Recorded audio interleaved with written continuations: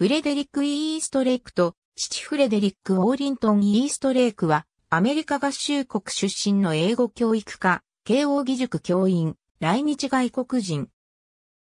フランク・オーリントン・イーストレイクとも、当時はイーストレイキと称し、その名で多数の英語関連書を出版した。言語学博士であり、23カ国語に通ずると言われ、白言博士の名で知られた。日本人女性の太田直美と結婚し、東子と合した。アメリカ合衆国ニュージャージー州に生まれる。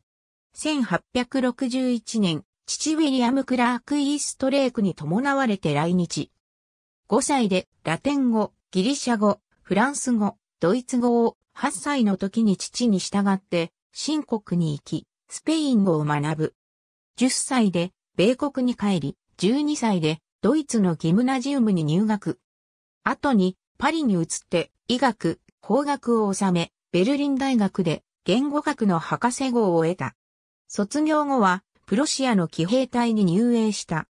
さらにアッシリア、エジプトを遊歴して現地の言語を極めた後、除隊し、父親が開業していた香港に渡って3年間滞在、その間にインドを訪れてサンスクリット語、アラビア語にも親しんだ。1884年に再び来日、英語教師となる。1885年、元旗本の大田信四郎提供の娘である日本人女性、大田直美と結婚する。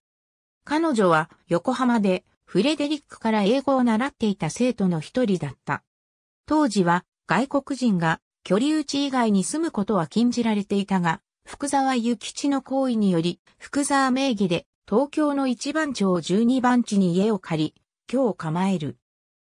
1886年から外国人教師の一員として慶応義塾で英文学講師を1年間務める。その他、ジャパンメールなどの新聞記者、教育者として活動。磯部屋一郎、高根義人を助手に、ザ東京インデペンデントと称する英語雑誌を3年ほど刊行する。1888年、磯部屋一郎と共に国民映学会を設立する。1889年まで東京築地活版製造所に秘書としても務めた。収入に不満があり、1891年、国民映学会から分裂して日本映学院を設立するも経営に失敗する。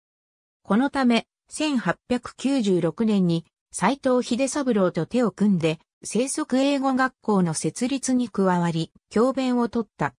日本語、ドイツ語、フランス語、イタリア語、スペイン語は原文ともに自国語並み、英語は古代、中世、近代と産業に語り分けた。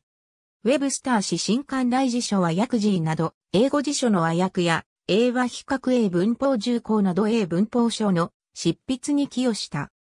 その他の著書に、香港史、日本教会史、日本刀剣史、勇敢な日本などがある。1905年2月18日、流行性感冒をこじらせて、急性肺炎で病没。遺体は、青山街神墓地に葬られた。青山街神墓地に墓碑と記念碑がある。日本女性、大田直美を妻に三男四女を設けた。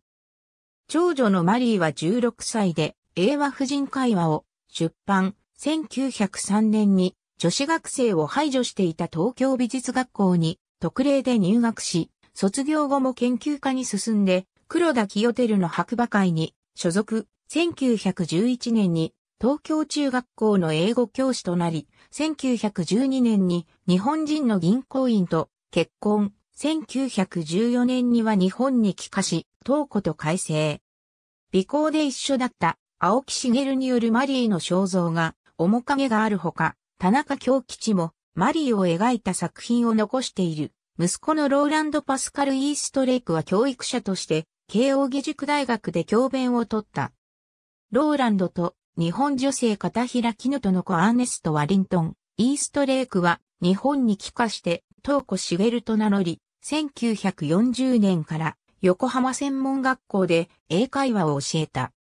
マリー、ローランドの下に4人のテーマがおり、カズトは1913年に渡英し、他は1920年に米国に移民、弟のフランシスと妹のクララは、米軍の対日諜報部で働き、末帝のレジナルドは音楽教師になった。ありがとうございます。